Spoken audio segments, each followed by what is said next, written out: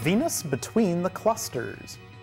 Hey there, stargazers. I'm Dean Regas, astronomer for the Cincinnati Observatory. And I'm James Albury, director of the Kika Silva Pla Planetarium in Gainesville, Florida. We're here to help you find your way around the sky tonight. Hey, Dean, what's the brightest planet? That would be Venus. And what are the two brightest open star clusters you can see from the Northern Hemisphere? Uh, the Hyades and the Pleiades. Yep. And what do you get when you put them all together in the sky? A Hyades, Venus, Pleiades sandwich. Um, more or less. Because this week, dazzlingly bright Venus will be wandering between these two star clusters, the Pleiades and the Hyades, and make a pretty sight in the evening sky. Let's show you. Okay, we have our sky set up for Wednesday, April 8th at 9.30 p.m. facing west. Low in the sky, you'll see something so bright you might think it's a UFO at first. That bright light is actually the planet Venus.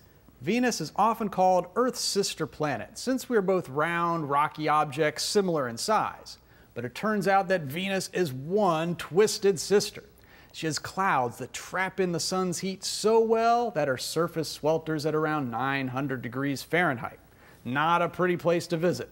I'll stay on Earth, thank you very much.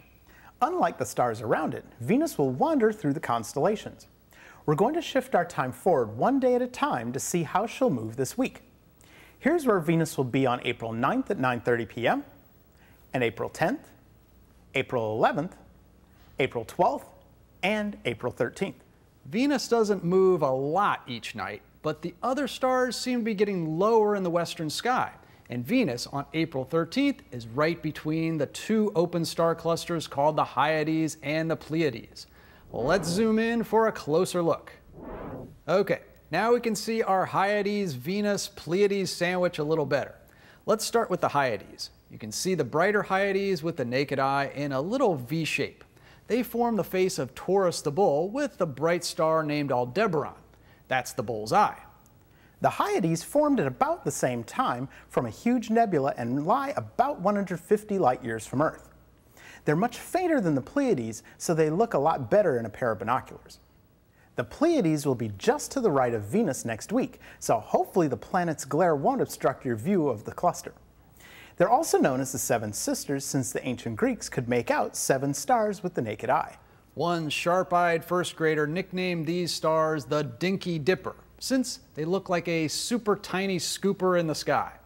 Zoomed in, we can see that there are way more than seven stars in this cluster, more like hundreds, all made from the same nebula, all resting about 400 light years from us.